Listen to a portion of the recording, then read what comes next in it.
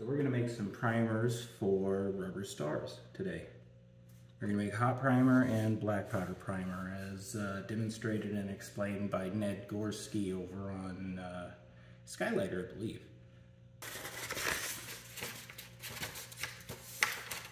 Use paper, use gloves, protect yourself, use a respirator, use eye protection. If you think I don't, Again.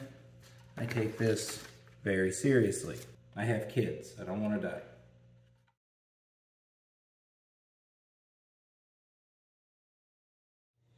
So we need to measure out 60.3 grams of potassium perchlorate.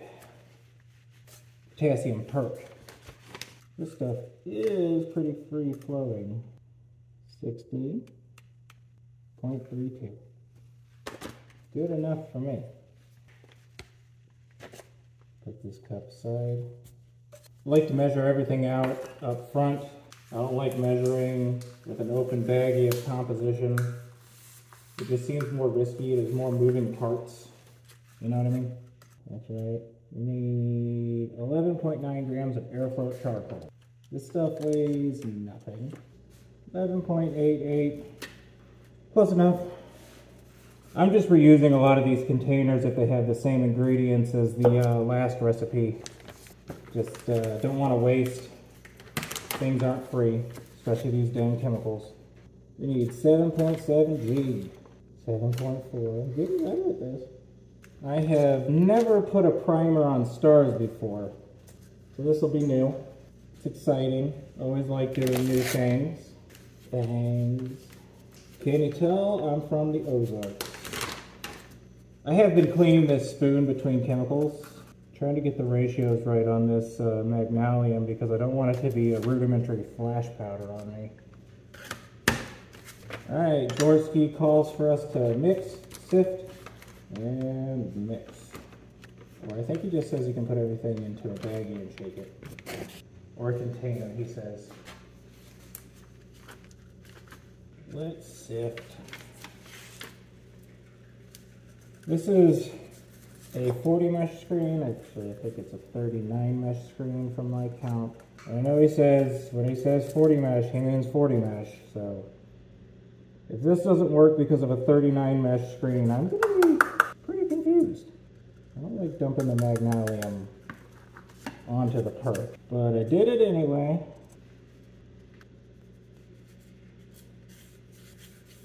Got that all screened.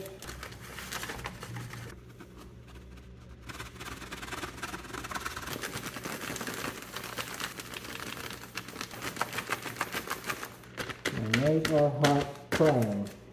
Looks pretty well mixed. It's a dull gray.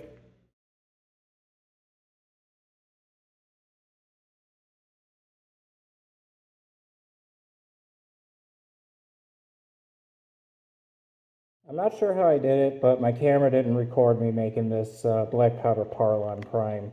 I did have to blade mill the potassium nitrate and the sulfur because they were a little bit too big of granules for my taste but it came together pretty easy. You just shake it up in a baggie once you have everything sifted together.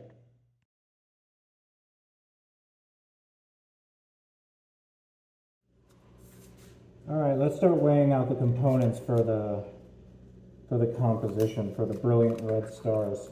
You should just be able to screen mix these guys after you have them measured out and add them to a container and just shake that container up.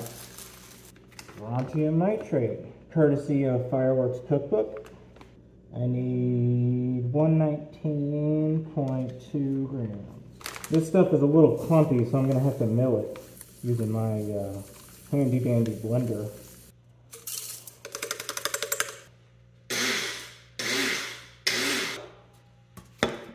Next up, we need magnalium. 42.7 grams. Where did I put my magnalium? There it is. This Magnalium, also from Fireworks Cookbook.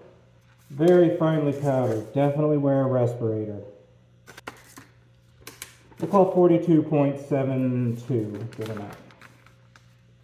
Now let's weigh out our Parlon. We need 38 grams. This is my first time working with Parlon, so 38.36. good enough. Then I need 24.8 of red gum. Also, also from Fireworks Cookbook. 24.83, good enough for me. Okay, we have our ingredients. Now, Gorski suggests we pass these through a mesh. So that's what we're gonna do.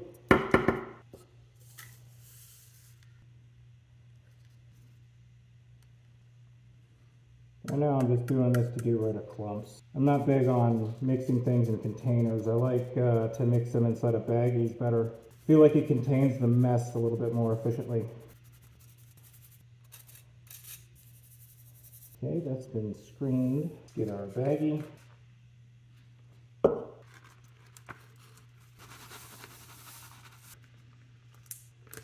Gorski's instructions just say you need to shake it together.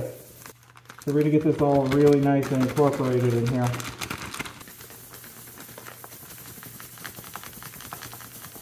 Looks like a nice free-flowing powder to me. Red Parlon stars. Check out my bad handwriting.